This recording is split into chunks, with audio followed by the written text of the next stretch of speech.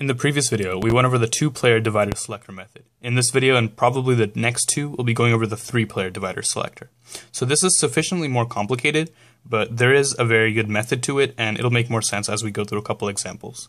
So here's the situation. We now have three people instead of two. We have A, B, and C.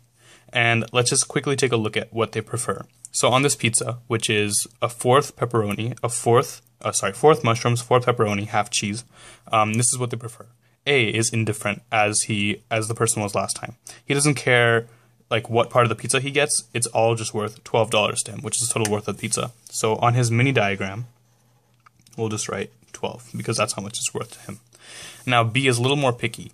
B needs toppings. He has no preference which topping he gets, whether it's mushroom, pepperoni, but he needs a topping. So if we draw his mini diagram, we need to put a line here, and this line on the left is worth $0 because it's all cheese and has no topping. But on the right, he has no preference, so that's where all of his $12 go. Um, and now C is the most uh, picky. He also needs toppings, but for him, pepperoni is worth two times as much as mushrooms. So if we draw his mini diagram, again, the part on the left is zero because it has no toppings at all.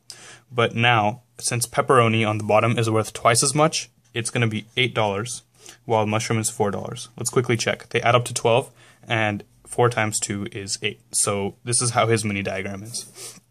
So now that we have everyone's mini diagrams, we can start filling in this table um, once we begin cutting. So again, with this divider selector method, you need to choose one person who's going to be the divider.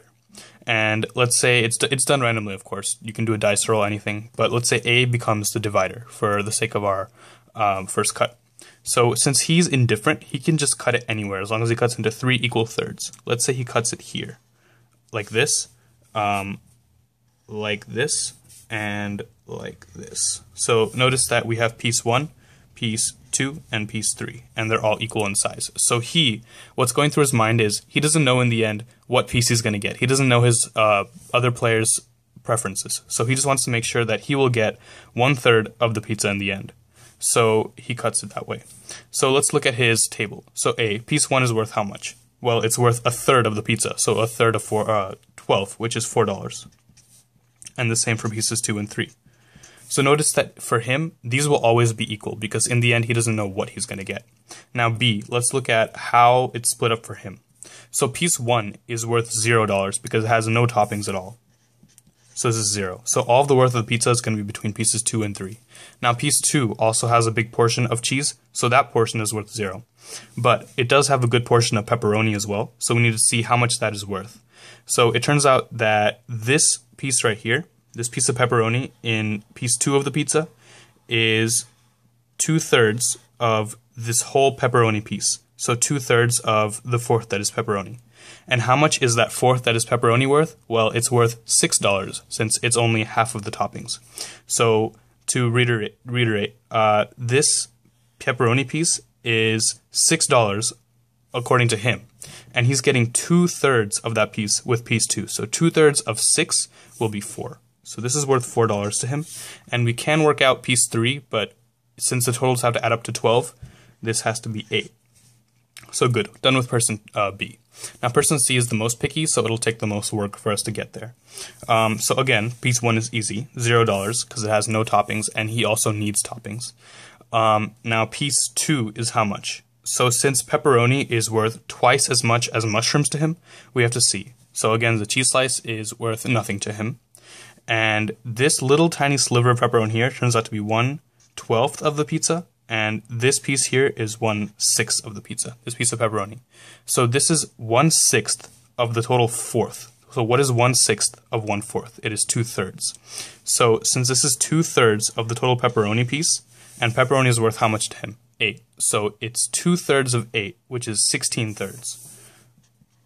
16 thirds, and to put it in dollar amounts, that will be $533 about. So I know that these fractions can be hard to work out, so if you need to go back and work them out for yourself and see how I arrived at this number. So this is 533. We can work out piece 3 just by subtracting 12 minus 533, but let's work it out just to get a feel for things. So now the remaining pepperoni is worth how much? It's going to be 8 minus 533, so it's going to be 267, and add that to how much the mushroom is worth total, which is 4. So 4 plus 267 is going to be 667. And does that indeed add up to 12? Yeah, because 5 and 6 is 11, and then these two uh, cent amount add up to 1, so it's 12. So now, that's the hard part. Hard part is done. Everyone has figured out how much each piece is worth, dollar amount to them. So now, the two selectors, which is B and C, they have a job to do. They have to make lists of which pieces are fair shares to them. And remember the definition of fair share from the previous video? It's anything that is one third or more in their own terms. So in this case, it's going to be anything that's $4 or more. So um, in this case, which is cool, that everything is a fair share for everyone. So this $4 is $4 or more, 8, 667, 533. So they are required to list, in their list of fair shares, they must write that. Um, so piece 2 and piece 3 is a fair share for person B. And for person C, same list. Notice that piece 1 is not a fair share for either of them because it's 0, which is less than 4.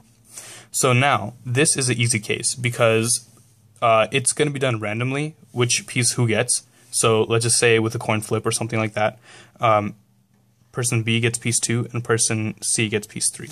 So let's see how much money each person has gotten. And uh, the remaining piece goes to person A, so he gets piece 1.